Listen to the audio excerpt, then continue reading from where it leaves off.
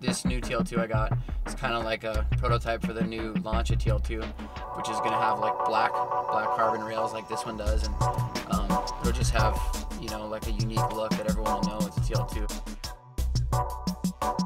The boards that I, the short boards that I have are so well rounded that my little 510 will work really really good in like gutless little waves, and then my normal short 6.0 will work any kind of good small wave to way overhead and pumping waves.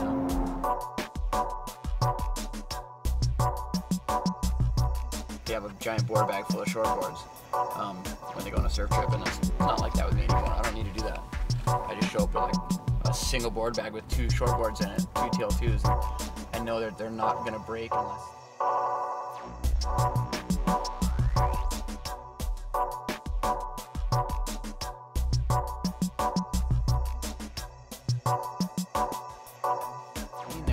You, the performance of um, a polyester board that has really nice flex that feels super fresh and poppy, and but it has the has it's not as strong, but it has more of the strength of a board that is just bulletproof. You know, you know, I can get a I can get a normal polyester board. It might last me, you know, a month if the if the surf's good all the time for like maybe a month, and the thing will just be destroyed. But my my TL2s will last more like year.